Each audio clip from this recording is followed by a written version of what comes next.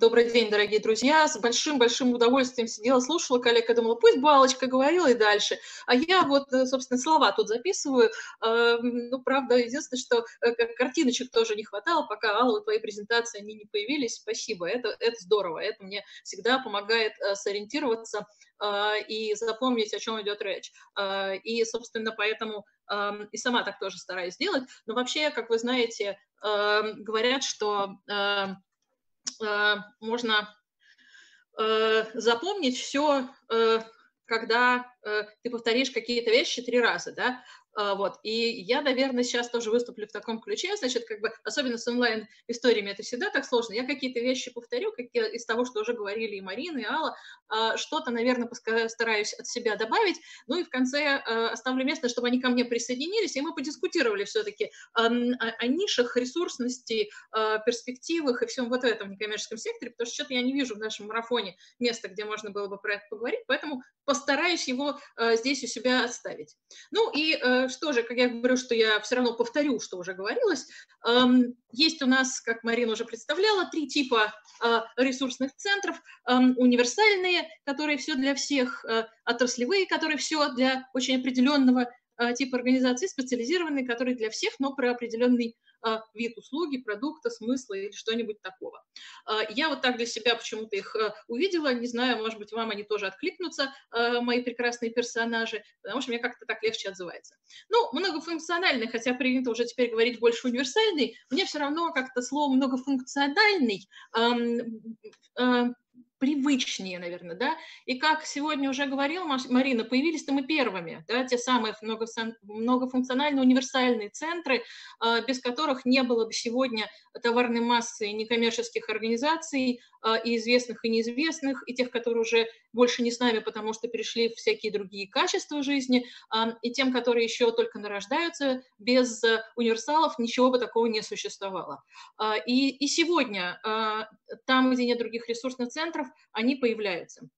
И вот то, о чем сегодня еще, мне кажется, ни Марина, ни Алла не говорили, мне важно, важным отметить, что э, сегодня есть большой запрос на универсальные ресурсные центры. Да, там, где их не существует. И запрос этот исходит э, часто не от некоммерческих организаций, а совсем от других наших уважаемых стейкхолдеров, от бизнеса и государства.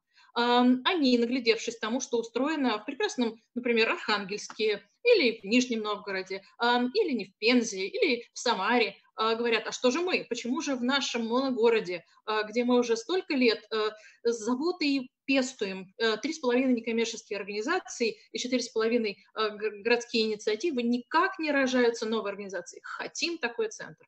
Ну или государство в продвинутых регионах, или уже которые становятся продвинутыми, тоже ставят себе такую задачку, почему бы не начать сразу с создания универсального ресурсного центра. И вот если Марине на презентации речь шла о том, что до универсала и до такого кладези знаний всего можно дорасти эволюционным путем, а вовсе даже и не сразу, ну вот тут я уже готова поспорить, да, Марин, с тобой, потому что считаю, что как на заре э, некоммерческого сектора, так и сейчас в отдельных регионах придется и нужно начинать с того, что появлялись мы универсалы, э, вы универсалы, при вашей поддержке новые универсалы, потому что надо развивать все – и ждать уже нечего, и держать только центр, развивающий пожилых или волонтеров, э, недостаточно. Нужно того, кто сейчас быстро подхватит все имеющиеся в природе технологии, распространит, внедрит, и дальше уже посмотрим, какие нам специалисты более узкого профиля нужны. И, конечно, сейчас э, тоже об этом уже говорили и Марина, и только что этим фактически закончила Алла. Э, все универсальные центры, они фактически представляют из себя такие холдинги, которые под одной крышей, под одним даже и брендом очень часто э, сочетают специальные нишевые универсальные вещи, но там э, типа как можно сказать, например, у центра «Гарант». Что у нас есть, Марин? У нас есть э, и э, фонд «Гарант», раздающий гранты, и ресурсный центр, помогающий воспитывать пожилых, и коворкинг, в котором можно прийти поработать, и еще много-много всего чего-то другого. Вот такие холдинги, казалось бы, там появляются эти ниши, появляются отдельные направления деятельности, но все равно они ассоциируются и брендируются одной и той же, уже известной, хорошо себя зарекомендовавшей маркой гранта. Но и многофункциональные, или так скажем, опять же, универсальные центры э, ресурсные, они отличаются тем, что э, они выживут и будут существовать, если только бесконечно будут находить для себя новые направления работы, новые задачи, новые рынки, новые идеи, а, и как отвечать на спрос, который существует, так и представлять а, и создавать этот спрос, и туда себя продвигать, о том, о чем уже тоже неоднократно сегодня сказали. Отраслевые а, конечно, они появились позже. Позже появились подобные организации, и на самом деле мне кажется, что большая их часть, это вот мое уже такое наблюдение, появилась именно эволюционным путем. А, сначала организация накопила экспертные и смысловой и методический потенциал в своей сфере, а потом стала готова его а, каким-то другим организациям предъявлять. Ну, не знаю, для меня, например, классический пример – это «Подари жизнь», да, которая сама много лет занималась онкологическими вещами, а потом стала делать и образовательные проекты, и поддерживать некоммерческие организации в регионах, занимающиеся этой же темой. И именно поэтому очень часто и клиенты, и партнеры таких отраслевых ресурсных центров находятся не в вашем собственном регионе, а в других регионах.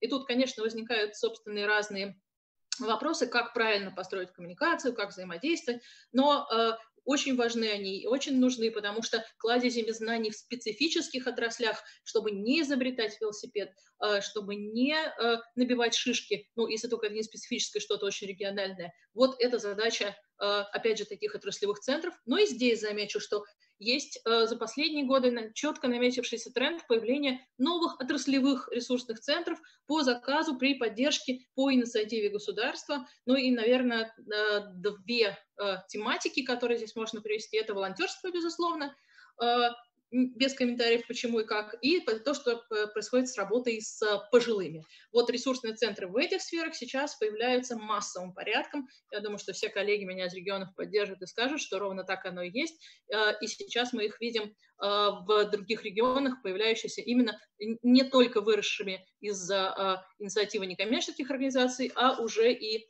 по инициативе государства. Следующий третий тип специализированных ресурсных центров.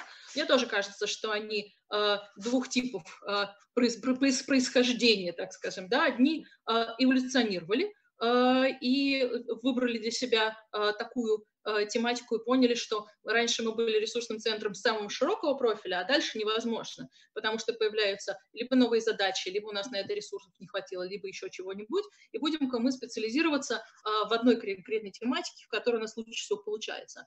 А вторые здесь тоже специально созданные для оказания услуг и смыслов и консалтинга, как мне кажется, в большей мере э, в определенных направлениях. И такие организации Марина сегодня тоже называла. А, это и юристы без гражданского общества, и агентство социальной информации. А вот к эволюционирующим я бы предложила посмотреть на Центр развития некоммерческих организаций Санкт-Петербурга, который вырастил у себя прекрасную компетенцию вот онлайн-образования. А, и в подборке после, после этого блока, конечно, будут ссылки а, на э, эти и другие ресурсы, которые доступны для других некоммерческих организаций. Но, безусловно, специализированные организации отличают именно богатый опыт работы именно в этой э, выбранной теме, в которой они работают. Но вопрос, который э, был задан в заголовке «все или не все», эм, у меня вызывает вопрос. Потому что вот я, как у меня, мне казалось, у меня есть ответ, я послушала Марину, я послушала Аллу, посмотрела на длиннющие списки вещей, которые делает любой качество любого ресурсный центр, подумала, что вопроса на самом деле не стоит потому что мы все равно заложники какого бы типа ресурсный центр мы не представляли, мы заложники очень широкого спектра э, услуг, э, вещей, эм, э, консалтинга, который мы производим. Поэтому нет такого здесь вопроса, все или не все. Вопрос, конечно, с чего начинать, куда развиваться, и вопрос скорее, как мне кажется, этот может быть обращен к новым организациям, которые сейчас себя сидят и оценивают. Я видела сейчас дискуссию в чате, о, а мы поняли, что мы тоже ресурсный центр, уже пора бы себя так, честно сказать-то и назвать. Ну, давайте посмотрим, эм, если вы действительно ресурсный центр, и э, что же тогда, где же те, те ресурсные вещи, которые вы можете э, предложить и честно себя вообще-то оценить, являетесь ли вы э, ресурсным центром и что вы можете предлагать. Ну, мне кажется, классическая история. Вам нужно ответить на пять простых вопросов. Э, у Глеба Жеглова было шесть, у меня получилось пять. Э, что уже есть на рынке? Э, есть ли уже та услуга, которую вы готовы оказывать не только себе, не только своей целевой аудитории, но и более широкому кругу некоммерческих или организаций, бизнеса или власти, все те, кто сегодня является потребителями услуг ресурсных центров. Есть или нет? Честно, вот есть или нет? И если есть, то, собственно, что же нового можем мы туда привнести? Или если нет, то, собственно, а почему нет? Подумайте про это. Что же можем мы? А, если у нас э, уже опыт, как, который можно транслировать, э, или нам нужно его наработать, и мы понимаем, что ниша не занята, и туда нам нужно сейчас будет как-то направить свои усилия, и мы понимаем и чувствуем в себе силы, э, и тогда это надо делать. Э, есть ли, или будет ли спрос на эту услугу? Ответ тоже может быть двояким. Если уже спрос есть, кто его удовлетворяет, и почему там мы считаем, что мы принесем какое-то дополнительное знание к этому. Если спроса сейчас нет, как быстро мы можем его себе сформировать, хватит ли у нас ресурсов на то, чтобы продержаться то время, пока этот э, спрос будет формироваться, и где вообще ресурсы на деятельность нас как ресурсного центра. Мне кажется, это отдельно очень больной вопрос, и там в чатике тоже было спрошено, кто же финансирует ресурсные центры. А, да все те же самые. И бизнес, и государство, и частные пожертвования граждан. Я сейчас чуть попозже я об этом скажу побольше, потому что, мне кажется, здесь есть одна большая засада, с которой как раз именно ресурсные центры а, сталкиваются в большей мере, особенно широкопрофильные, чем а, просто некоммерческие организации. Но, называя себя ресурсным центром, надо точно понимать, где вы возьмете ресурсы, не только чтобы просто делать свою работу, а вот все те услуги, все те задачи, все те качества, о которых говорили Алла и Марина, э, воплотить, передать это в расширенном масштабе, э, более большому, более широкому кругу заинтересованных лиц, новых организаций. А если речь идет о том, что вы будете работать не только в своем регионе, у вас есть ресурсы вообще, не только вот онлайн, как сейчас мы все прекрасно научились, но и поехать, и посидеть, и поговорить, и 25 раз поехать и поддержать кого-то, и, и научить, и что вообще вы будете с этим делать. Ну и еще один, мне кажется, не менее важный вопрос, называется временной горизонт.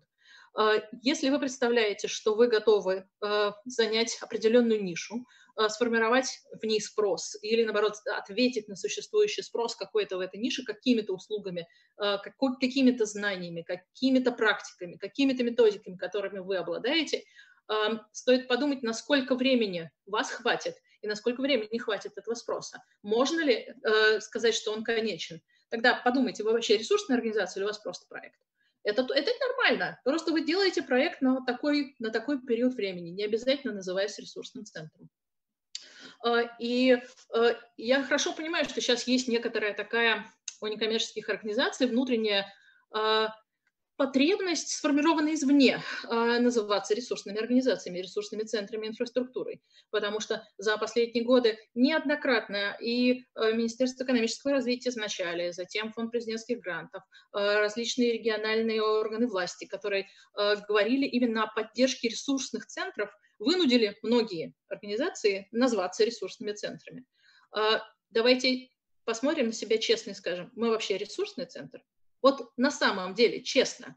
Э, или мы просто делаем хорошо свою работу, и мы сейчас готовы, например, денег получить на то, чтобы э, поддержать свою работу, потому что другими методами мы эти деньги получить не можем.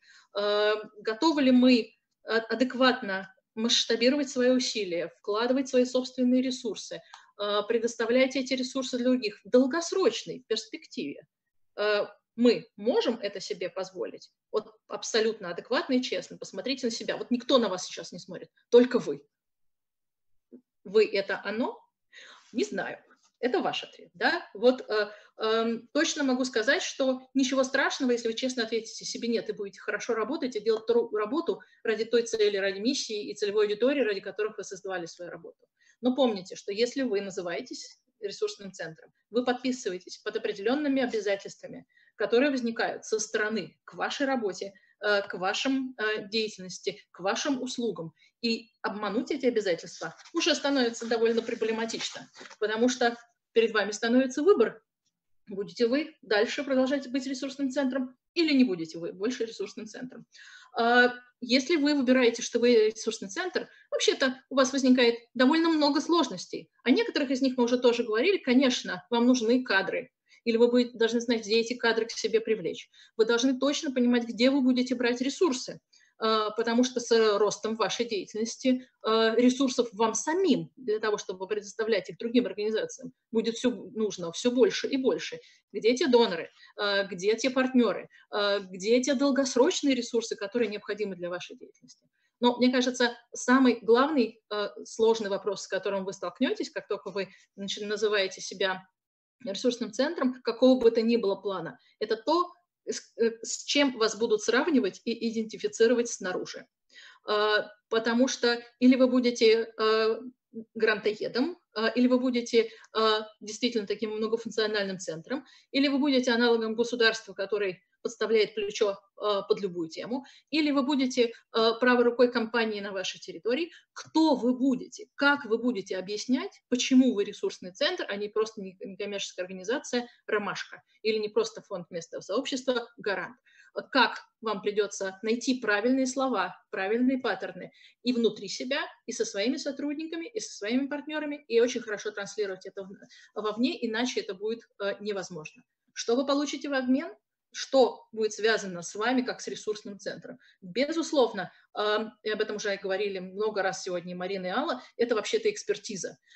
Конечно, и вы не можете быть без, э, вы не можете развиваться без экспертизы, но к вам за этим будут приходить и некоммерческие организации, и жители, э, и представители власти, и представители бизнеса, и представители средств массовой информации, потому что узкий или широкий или профиль вы выберете для своей деятельности, э, вы заложник того, чтобы эту экспертизу в себе иметь, и как обмен на эту экспертизу вы получите влияние, то самое, о котором говорят, что некоммерческие организации являются такой мягкой силой, это мы, да, это не просто отдельные некоммерческие организации, это вот как весь пул некоммерческих организаций, так и во многом ресурсные э, центры и ресурсные организации, инфраструктура. Посмотрите на те изменения, которые произошли в социальной сфере за последние э, даже не 20 лет, посмотрите за 5, за 3 года, за последние 2 года, например, в сопровождаемом проживании, например, в отношении с пожилыми, например, в отношении экологии, во многих-многих вещах это ресурсные центры, экспертные организации продвинули, повлияли, изменили, изменили не только позицию власти, изменили э, отношения граждан, что, мне кажется, самое дорогое и важное.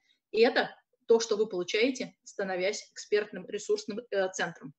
Ну и, конечно, большую сеть партнеров, потому что, конечно, невозможно э, одной организации выдержать, выжить и все это на себе удержать, если вы партнеры и даже самого широкого профиля ресурсный центр не является как бы никогда не может иметь внутри себя кадры по всем темам, а, методики и экспертизу по всем темам, но богат именно партнерской структурой.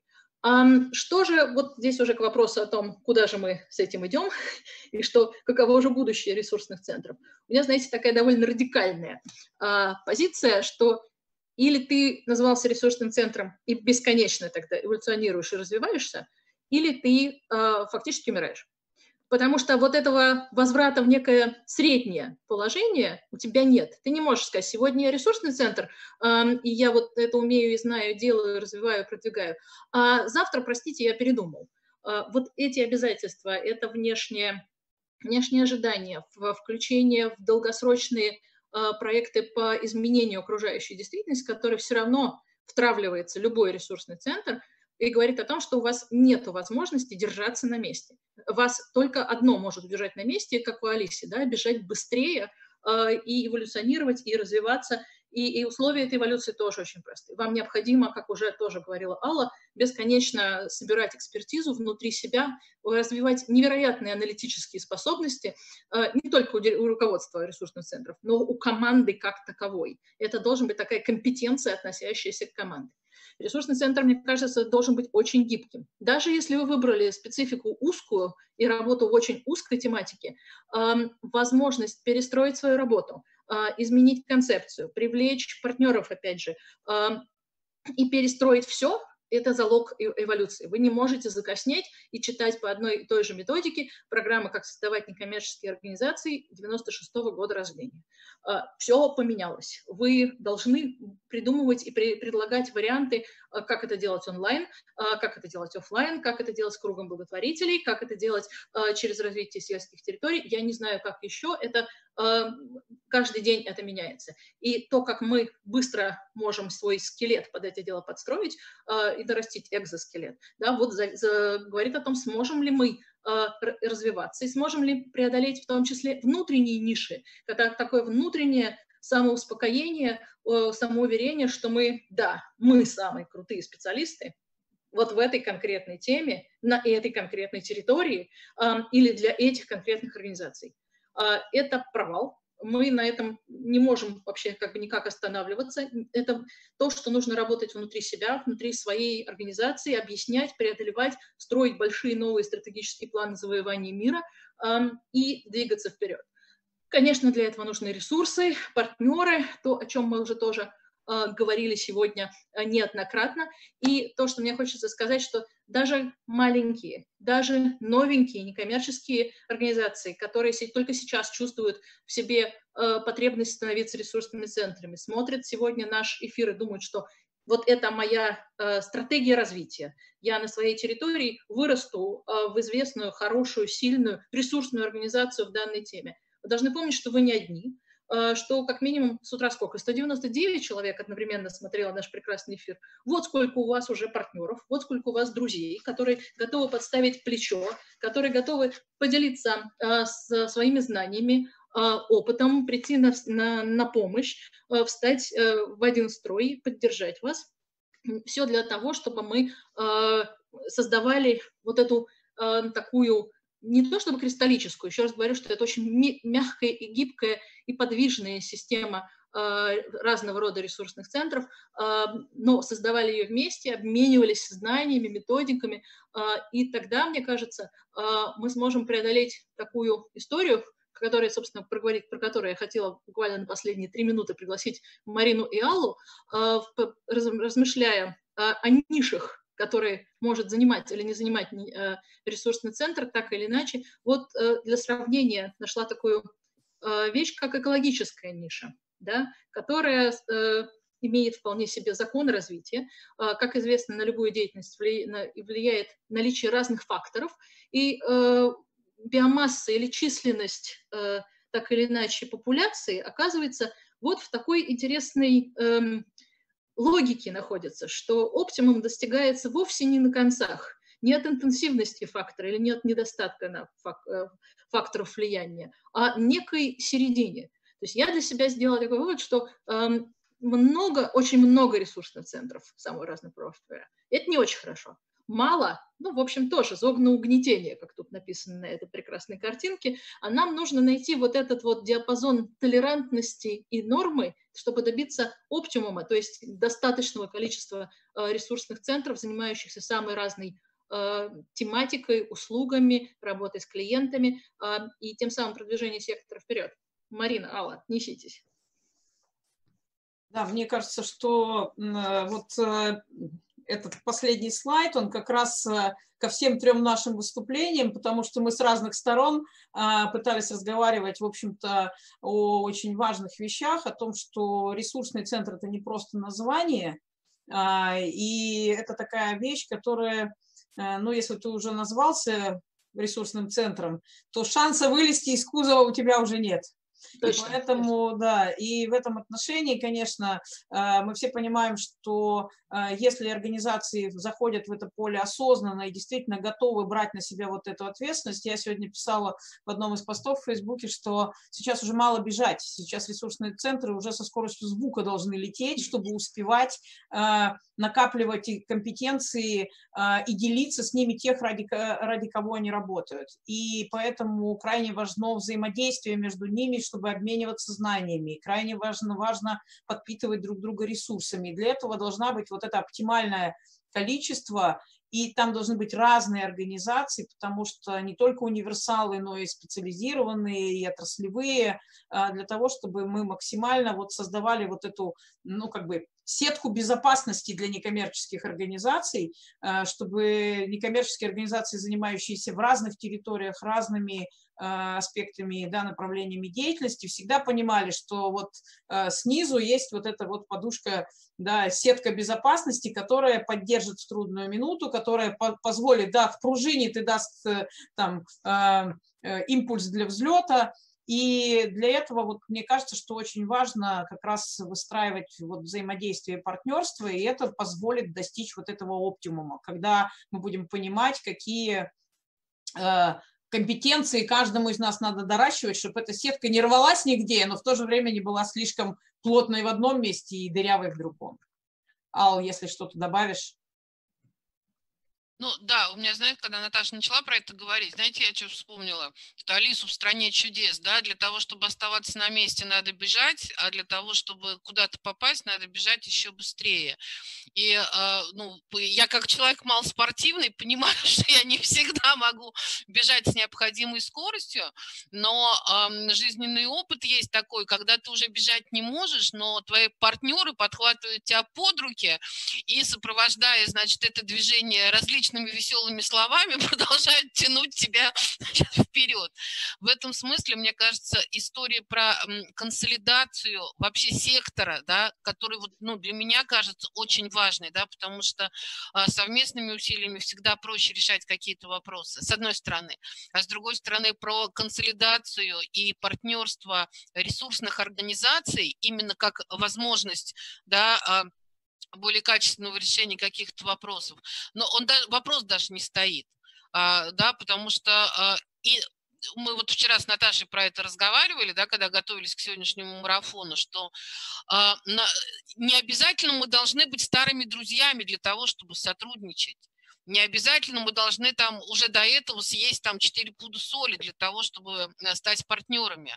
А, партнерства могут возникать и а, без наличия вот этих вот а, старинных связей, при наличии интереса и понимания совпадения ценностей и целей. А вот как раз в процессе этого совместного а, проживания, да, там совместной генерации каких-то идей, совместной реализации различных там ну, микро-макро а, проектов и активностей формируются вот эти еще и человеческие связи, потому что мне кажется, что одним из важных ресурсов, про которые мы тут не говорили, а, да, но он как бы сам, ну, само собой а, где-то там вот э, присутствует, и мы про это, я, по крайней мере, вот, ну, для меня это очень ценно, это то, что совместный труд, да, для моей пользы, он объединяет, и потом, зная uh-huh. вот этот свой коллективный потенциал, можно ставить перед собой самые амбициозные задачи. И как Наташа сказала, да. можно uh-huh. не ощущать себя ресурсным центром на данный момент времени, но вступив вот в такую ко- коалицию, кооперацию, ты в какой-то момент обнаруживаешь, что э, твой ресурс внутренний вырастает настолько, что уже не вмещается в тебя. И а, ты станов... Спасибо большое. Прости, пожалуйста, у нас просто... А вот всегда меня просто это на, на, на полусловие но э, это значит, что э, да, придется продолжить марафон вместо 13 и 14 часов. Там, там еще, Мариш, там еще есть вопросы э, в, в чатике. Я знаю, я вижу, что уже следующий есть спикер. Я быстро скажу, что не так страшно, что не, не быстро развивается РЦ на муниципальных территориях. Все должно просто вызревать. Всему нужно время, потому именно та вот гибкость ресурсных центров, о которых я говорила, чтобы она отстроилась, чтобы это мясо, чтобы это понимание наросло. Ничего страшного, что если это не быстро происходит происходит. Это все будет. И про э, бизнес-модели, я думаю, что это будет разговор на тех завтраках, э, которые и по субботам будут теперь происходить, потому что, конечно, избежать этой темы э, невозможно. А дополнительные ресурсы, э, которые могут быть нужны тематически для некоммерческих организаций и для ресурсных центров, в следующей отбивке после этого блока, Марина, я думаю, еще это анонсирует. Да, да, конечно. Будем только рады этому делиться. Да,